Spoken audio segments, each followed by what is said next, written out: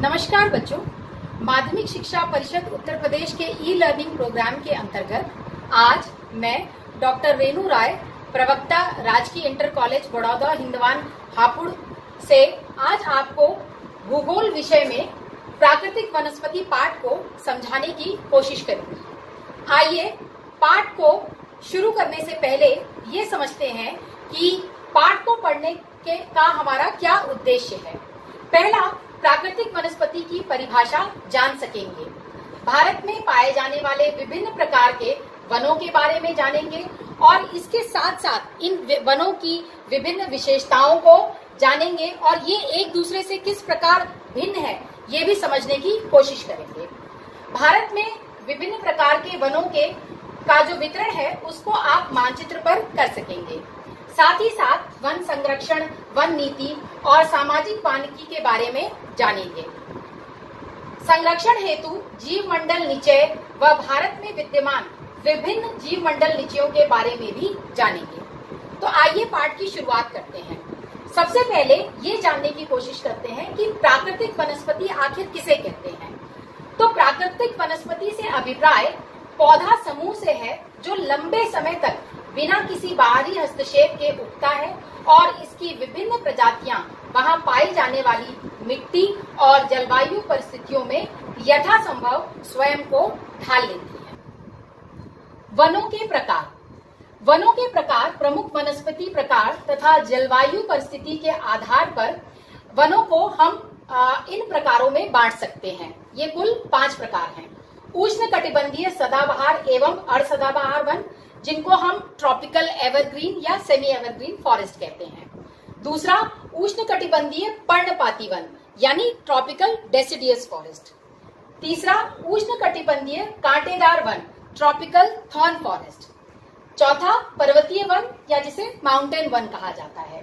और सबसे आखिरी में, वेलांचली व अनूप वन, जिसे हम अंग्रेज़ी में लिटोरल व स्वैम फॉरेस्ट कहते हैं। आइए सबसे पहले उष्ण कटिबंधीय सदाबहार एवं अर्ध सदाबहार वनों की विशेषताओं को समझते हैं। ये कैसे प्रदेशों में पाए जाते हैं? उष्ण व आर्द्र प्रदेशों में। 200 सेंटीमीटर से अधिक वर्षा और यहाँ पर तापमान 22 डिग्री सेल्सियस से अधिक पाया जाता है। साथ ही साथ ये वन सघन और पत्तों वाले होते हैं और वर्ष भर हरे भरे होते हैं। और ऐसा क्यों होता है? क्योंकि इन पेड़ों में जो पत्ते झड़ने का समय या फल और फूल लगने का समय जो है, वो अलग अलग होता है। इसलिए यहाँ पर वर्ष भर ये जो पेड़ होते हैं, ये हरे भरे नज़र आते हैं और यही कारण है कि इन्हें हम सदाबहार वन कहते हैं। इन वनों में वृक्षों की लंबाई 60 मीटर से भी अधिक होती है। अगर वितरण देखें, भारत में तो पश्चिमी घाट की पश्चिमी ढाल, उत्तर पूर्व क्षेत्र की पहाड़ियाँ, अंडमान और निकोबार द्वीप समूह में मुख्यतः ये वन पाए जाते हैं। और जो मुख्य वृक्ष प्रजातियाँ यहाँ पर मिलती हैं, वो है रोजवुड, महोगनी, एनी और एबनी अर्ध सदाबहार वन। ये कम वर्षा वाले भागों में पाए जाते हैं और ये वन सदाबहार और आर्द्र पर्णपाती वनों के मिश्रित रूप है, एक मिक्स्ड फॉर्म में है ये।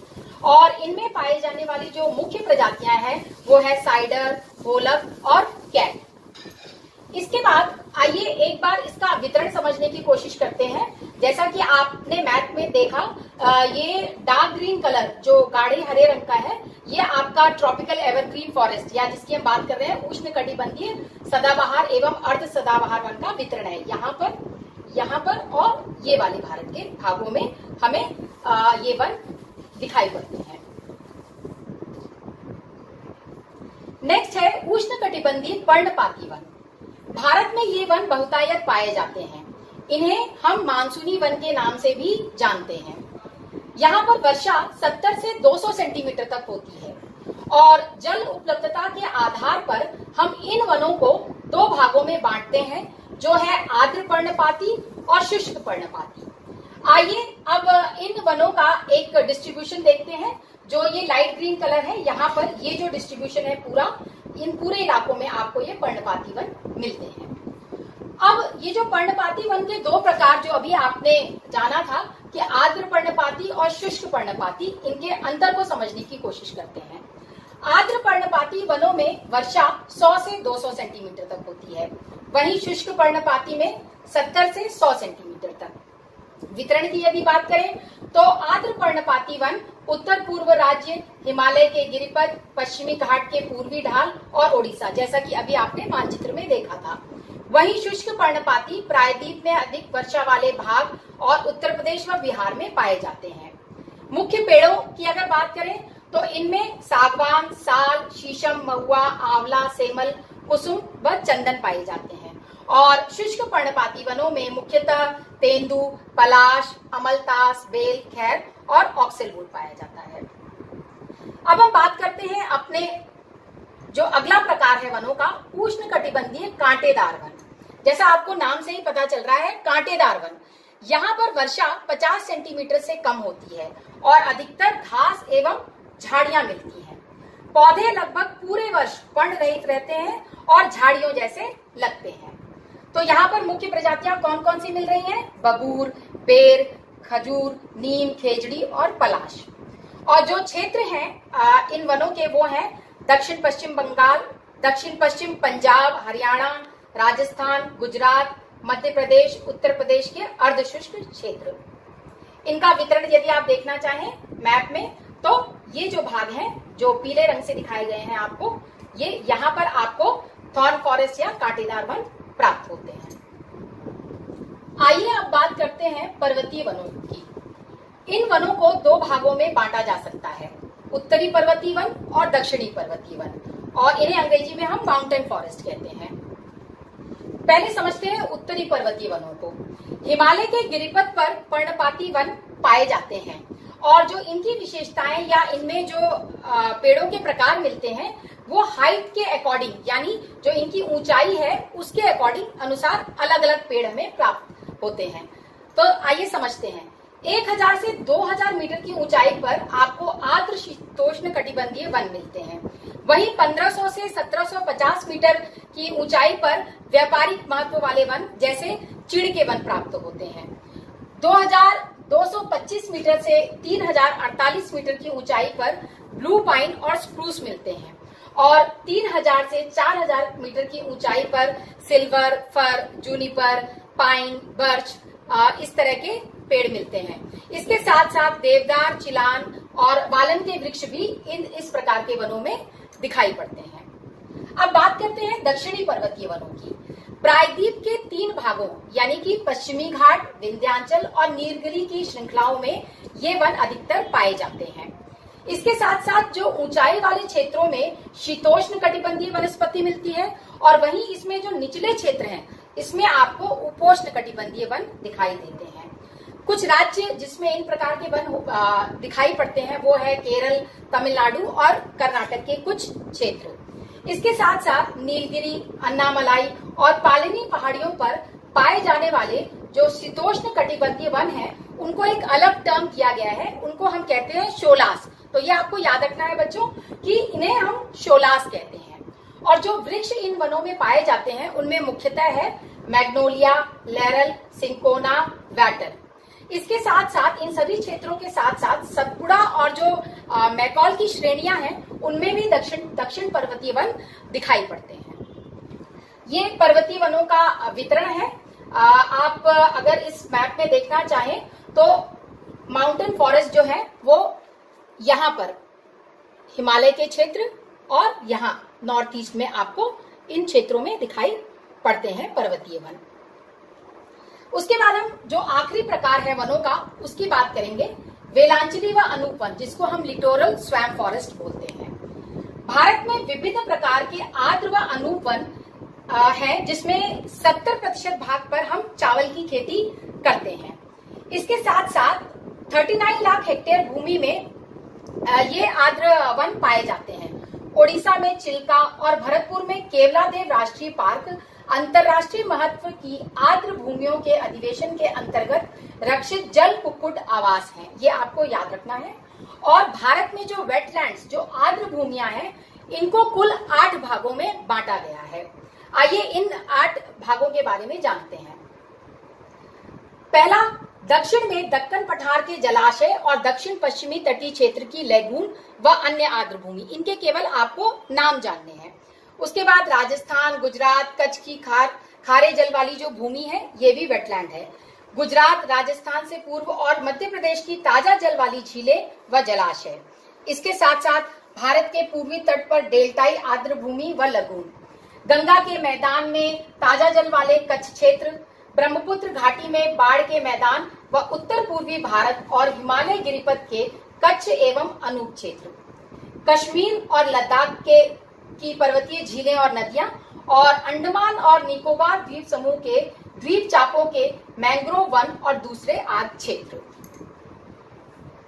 यह मानचित्र आपको भारत की जो आर्द्र भूमि है, जो वेटलाइन साइट साइट्स हैं, ये दर्शाता है।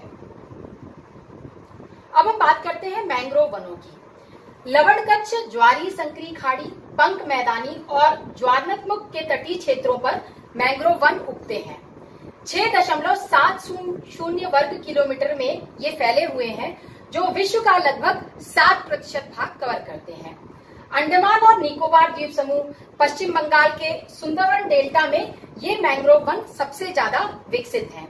इसके साथ साथ महानदी, गोदावरी और कृष्णा नदी के जो डेल्टाई क्षेत्र हैं, इसमें भी मैंग्रोव वन देखे जाते हैं ये इसका एक डिस्ट्रीब्यूशन है। भारत में कहाँ कहाँ पर आपको मैंग्रोव वन दिखते हैं। गुजरात में, गोवा में सुंदरबन मैंग्रोव पश्चिम बंगाल, महानदी, कृष्णा, कावेरी, डेल्टा जो क्षेत्र हैं, इन सब में आपको मैंग्रोव वन दिखाई दे रहे हैं। ये एक मानचित्र है पूरे जो आपने जितने भी वनों के प्रकार पढ़े हैं, उनको समझने के लिए यहाँ पर हिंदी में है और यहाँ इंग्लिश में है। मैं आपको पहले भी मानचित्र दिखा चुकी हूँ। ये केवल एक तुलनात्मक अध्ययन के लिए है कि जितने भी प्रकार के वन हैं, वो कहाँ कहाँ पर भारत में पाए जा रहे हैं।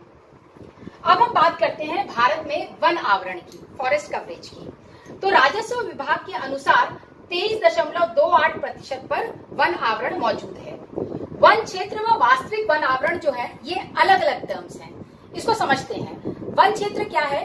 राजस्व विभाग के अनुसार अधिसूचित क्षेत्र है, चाहे वहाँ वृक्ष हो या ना हो। जबकि वन आवरण प्राकृतिक वनस्पति का झुरमुट है और वहाँ पर वास्तविक रूप में आप, वो जो एरिया है, वो वनों से ढका हुआ है। वन क्षेत्र राज्यों के राजस्व विभाग से प्राप्त होता है, जबकि वनावरण की पहचान आपको वायु चित्रों और उपग्रह के माध्यम से प्राप्त होता है। इंडिया फॉरेस्ट रिपोर्ट 2011 के अनुसार वास्तविक वनावरण केवल इक्कीस दशमलव शून्य पाँच प्रतिशत है, जिसमें बारह दशमलव दो नौ प्रतिशत भाग पर सघन वन है और आठ दशमलव सात पाँच प्रतिशत पर विवृत वन पाए जाते हैं। ये आंकड़े हैं बच्चों जो आपको याद रखने हैं। अब बात करते हैं राज्यवार या क्षेत्रवार वन क्षेत्रों की कि कैसे कैसे भारत में ये डिफरेंट है। लक्षद्वीप वन क्षेत्र शून्य है, जबकि अंडमान निकोबार में 86.93 प्रतिशत तक वनावरण देखा जाता है। 10 प्रतिशत से कम वन क्षेत्र वाले जो राज्य हैं, वो हैं उत्तर और उत्तर पश्चिम भाग में स्थित हैं ज़्यादातर, और ये राज्य राजस्थान, गुजरात, पंजाब, हरियाणा और दिल्ली केंद्र शासित प्रदेश। 10 से 20 प्रतिशत में तमिलनाडु और पश्चिम बंगाल और 20 से 30 प्रतिशत में प्रायद्वीपीय भारत में दादर और नगर हवेली, तमिलनाडु और गोवा को छोड़कर शेष सभी राज्य वहीं 30 प्रतिशत से अधिक में उत्तर पूर्वी राज्य। ये आपने जब मैप में भी देखा होगा तो आपने ये देखा होगा कि ज़्यादातर जो नॉर्थ ईस्ट का पार्ट है, वो वनों से ढका हुआ है। अब बात करते हैं वास्तविक वनावरण से जुड़े आंकड़ों की। जम्मू कश्मीर में 9.5 प्रतिशत से अंडमान निकोबार में 84.01 प्रतिशत, चौरासी दशमलव शून्य एक प्रतिशत तक वास्तविक वनावरण है। वहीं पंद्रह राज्यों में कुल भूमि के 33 प्रतिशत से अधिक भाग पर वन है। वास्तविक वनावरण के अधीन क्षेत्र के आधार पर हमने राज्यों को चार भागों में विभाजित किया है। पहला, अधिक वन संकेंद्रण वाले राज्य, जहाँ पर वन आवरण 40 प्रतिशत से अधिक है। मध्यम वन संकेंद्रण वाले प्रदेश, जहाँ पर वन आवरण 20 से 40 प्रतिशत है। कम वन संकेंद्रण वाले प्रदेश, वहाँ पर वन आवरण 10 से 20 प्रतिशत है। और अति कम वन संकेंद्रण वाले प्रदेश जो है, उनमें जो वन आवरण का प्रतिशत है, वो 10 से भी कम। अब बात करते हैं वन संरक्षण की। वन संरक्षण नीति उन्नीस सौ बावन में लागू की गई, जिसे 1988 में फिर संशोधित किया गया। इस नीति के अनुसार सरकार सतत पोषणीय वन प्रबंधन पर बल देगी और इसके साथ साथ वन संसाधन का संरक्षण व विकास की भी बात की गई। और इसमें जो सबसे ज़रूरी चीज़ थी वो ये थी कि स्थानीय लोगों की आवश्यकताओं को पूरा किया जाएगा और इसके साथ साथ वन संरक्षण की बात कही गई। इसी परिप्रेक्ष्य में आगे फिर गवर्नमेंट ने वन नीति बनाई, फॉरेस्ट पॉलिसी डेवलप की। और उसके उद्देश्य क्या क्या है, ये हम जानते हैं। नई वन नीति के अनुसार सरकार सतत पोषणीय वन प्रबंधन पर बल देती है, जिससे एक ओर वन संसाधनों का संरक्षण व विकास किया जाएगा और दूसरी ओर वनों से स्थानीय आवश्यकता की भी पूर्ति की जाएगी। जो हमने अभी कहा था कि लोगों की स्थानीय आवश्यकताओं को भी ध्यान में रखते हुए हमें वन संरक्षण करना है। देश में 33 प्रतिशत भाग पर वन लगाना, जो वर्तमान राष्ट्रीय स्तर से 6 प्रतिशत अधिक है। पर्यावरण असंतुलन समाप्त करने के लिए वन लगाने पर बल देना। इसके साथ साथ देश की प्राकृतिक धरोहर, जैव विविधता तथा आनुवांशिक पूल का संरक्षण करना। फिर पेड़ लगाने को बढ़ावा देना तथा पेड़ों की कटाई रोकने के लिए जन आंदोलन चलाना, जिसमें महिलाओं को भी शामिल करना। और जो आखिरी उद्देश्य था, वह था सामाजिक वानिकी कार्यक्रम चलाना, जिससे ऊसर भूमि का उपयोग वनों को उगाने के लिए किया जा सके। बच्चों, अभी हम समझेंगे कि सामाजिक वानिकी टर्म से क्या मतलब है। आइए समझते हैं सामाजिक सामाजिक वानिकी का क्या अर्थ है। पर्यावरण, सामाजिक व ग्रामीण विकास में मदद के उद्देश्य से वनों का प्रबंध और सुरक्षा, और इसके साथ साथ ऊसर भूमि पर जो वन रोपण है, उसे हम कहते हैं सामाजिक वानिकी। राष्ट्रीय कृषि आयोग उन्नीस सौ ने सामाजिक वानिकी को तीन वर्गों में बांटा, शहरी वानिकी, ग्रामीण वानिकी और फार्म वानिकी। शहरी वानिकी से क्या तात्पर्य है? जब आप शहरों के इर्द गिर्द जो निजी और सार्वजनिक भूमि है, उस पर जब आप वृक्ष लगा रहे हो तो इसे हमने टर्म दिया सामाजिक वानिकी का। वहीं ग्रामीण वानिकी को दो भागों में बांटा गया कृषि वानिकी और समुदाय वानिकी। तो कृषि वानिकी में कृषि योग्य और बंजर दोनों प्रकार की भूमि पर पेड़ और फ़सल एक साथ लगाने को प्रमोट किया गया कि आप पेड़ भी लगाइए और फ़सल भी उगाइए एक साथ। वहीं समुदाय वानिकी में सार्वजनिक भूमि जैसे गाँव, चरागाह, मंदिर भूमि या जो विद्यालय की भूमि है या सड़क के दोनों ओर पेड़ लगाना, इसे सामुदायिक वानिकी का नाम दिया गया। वहीं फार्म वानिकी से तात्पर्य ऐसे पेड़ों को लगाना जिनका व्यापारिक महत्व है। और इस उद्देश्य की पूर्ति के लिए वन विभाग जगह जगह निशुल्क पेड़ों का भी वितरण करता है। अब इसी संदर्भ में हम आगे बात करेंगे वन्य प्राणियों की, जिसको हम कहते हैं वाइल्ड लाइफ तो विश्व के ज्ञात पौधों और प्राणियों की किस्मों में से चार से पाँच प्रतिशत किस्में जो है वो भारत में है। परंतु भारत में धीरे धीरे जो ये वाइल्ड लाइफ या वन्य प्राणी थे, इनकी संख्या घटने लगी। और इनकी संख्या कम होने के कारण क्या है? बड़े ही वैसे कारण है कि जैसे जैसे आप औद्योगिक और तकनीकी विकास करने लगे, आपने सबसे पहले क्या किया? आपने अपनी जरूरतों को पूरा करने के लिए आपने पेड़ काटने शुरू कर दिए। तो इंडस्ट्रियल डेवलपमेंट का जो सबसे बड़ा नुकसान हुआ, वो वनों को हुआ कि वनों की कटाई होने लगी फैक्ट्रियों को स्थापित करने के लिए। इसके साथ साथ खेती, बस्ती, सड़क, खदान, जलाशय बनाने के लिए भी वनों को काटा जाने लगा। फिर चारे के लिए, ईंधन के लिए, इमारती लकड़ी के लिए, इन सब आवश्यकताओं की पूर्तियों के लिए भी वनों को काटा गया। इसके साथ साथ बहुत से लोगों का शौक है है शिकार करने का। तो शिकार करने के लिए भी लोगों ने धीरे धीरे क्या किया? इन वन्य प्राणियों को मारना शुरू कर दिया। और इसके साथ साथ चारागाह की खोज में भी जो फॉरेस्ट थे वो कटते गए और इन वन प्राणियों के जो घर थे वो नष्ट होते गए। और जो आखिरी कारण है, वो है एक नेचुरल डिजास्टर जिसको हम कहते हैं जंगल में आग लगना। जंगल में आग लगने से जब जंगलों का विनाश हो जाता है तो ज़ाहिर सी बात है कि जो ये वन्य प्राणी है, इनके घरों को, इनके हैबिटेट को नुकसान पहुँचता है। तो अब वन्य प्राणियों के बचाव के लिए भी सरकार ने फिर कुछ कदम उठाए। तो वन्य प्राणी अधिनियम उन्नीस सौ बहत्तर में पास हुआ। और इसके उद्देश्य थे कि इस अधिनियम के तहत अनुसूची में सूचीबद्ध संकटापन्न प्रजातियों को सुरक्षा प्रदान करना। और दूसरा उद्देश्य, नेशनल पार्क, पशु विहार जैसे संरक्षित क्षेत्रों को कानूनी सहायता प्रदान करना। इस अधिनियम को उन्नीस सौ इक्यानवे में फिर संशोधित किया गया और इसमें कठोर सजा का प्रावधान किया गया। और इसके साथ साथ ये कहा गया कि जो पेड़ या पौधे या जो वन्य प्रजातियाँ संकटापन है, उनका संरक्षण तय किया जाना चाहिए। आंकड़ों की बात करें तो देश में वर्तमान में 103 नेशनल पार्क और 535 वन्य प्राणी अभय वन है। प्रोजेक्ट टाइगर 1973 और प्रोजेक्ट टाइगर एलिफेंट 1992 इसी वन्य प्राणी संरक्षण के तहत दो प्रोजेक्ट्स हैं, जिसके बारे में हम आगे जानेंगे। प्रोजेक्ट टाइगर 1973 और प्रोजेक्ट एलिफेंट उन्नीस सौ बानवे में शुरू किया गया था। इसमें प्रोजेक्ट टाइगर में बाघों की संख्या का स्तर बढ़ाया गया। शुरू में नौ बाघ नीचियों में सोलह वर्ग किलोमीटर का एरिया था, जो बाद में बढ़कर चौवालीस करोड़ बाघ नीचियों में लगभग बढ़कर छत्तीस हज़ार नौ सौ अट्ठासी दशमलव दो आठ वर्ग किलोमीटर तक पहुँच गया। और इस प्रोजेक्ट की जो पहुँच थी, वह सत्रह राज्यों तक जा चुकी थी। 2006 में बाघों की संख्या 1411 से बढ़कर 2010 में 1706 हो गई। जो अन्य परियोजनाएँ, वन्य प्राणी संरक्षण से रिलेटेड चलाई गई, वो थी मगरमच्छ प्रजनन परियोजना, हंगुल व हिमालय कस्तूरी परियोजना। आइए जानते हैं अब जीव मंडल नीचे या बायोस्फीयर रिज़र्व किसे कहा जाता है।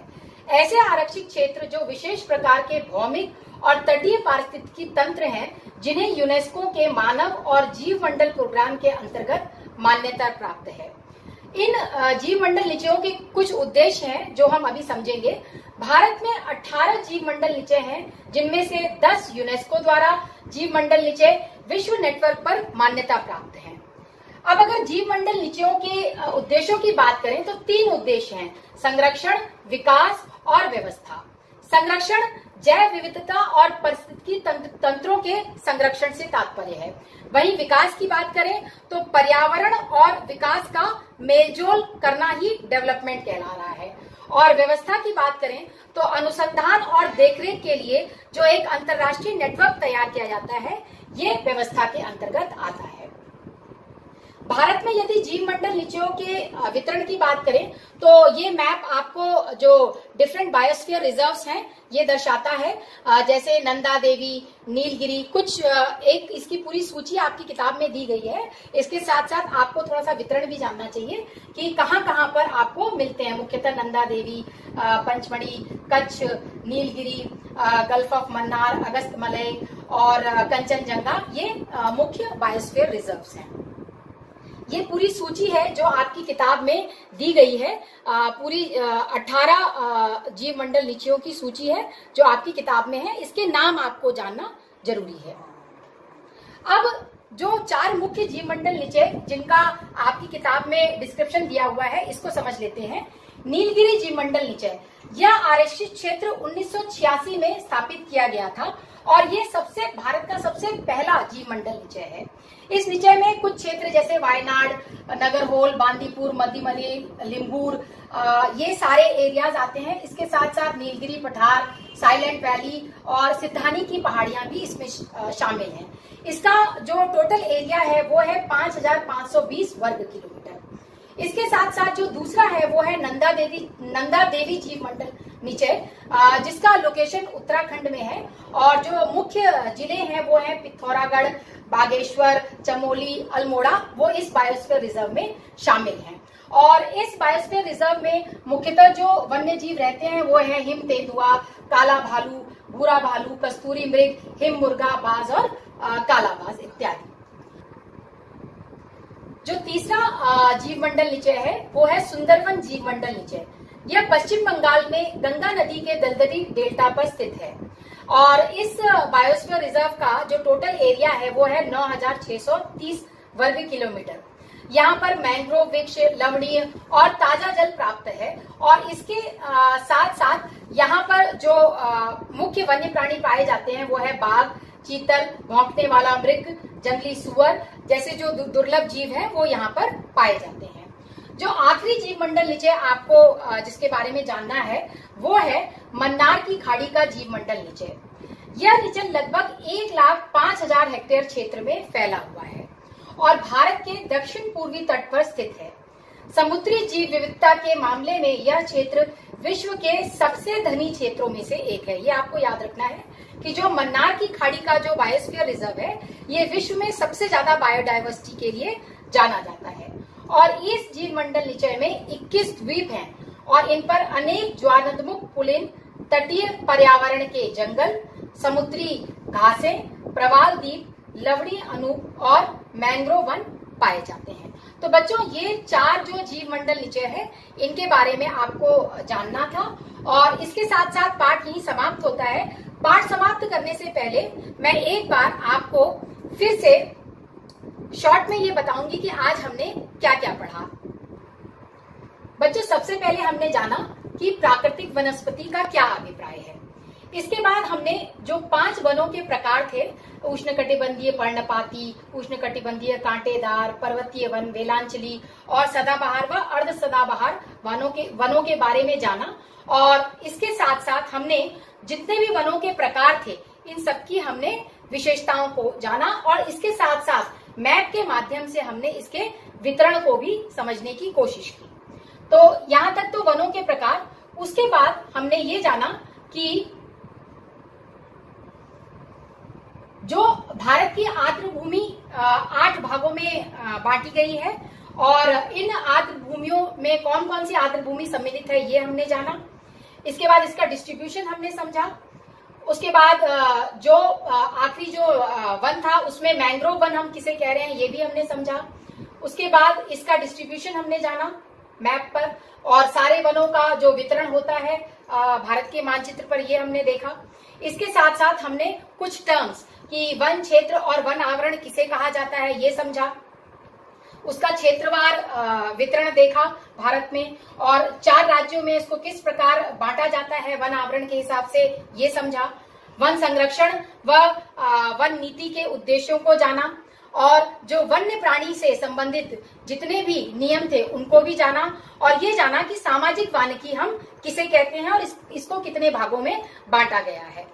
इसके साथ साथ हमने आखिर में जो बात की वो, हमने प्रोजेक्ट टाइगर और प्रोजेक्ट एलिफेंट की बात की और फिर सबसे आखिर में हमने ये जाना कि जीव मंडल नीचे किसे कहते हैं और ये कितने प्रकार के भारत में हैं, ये हमने समझा।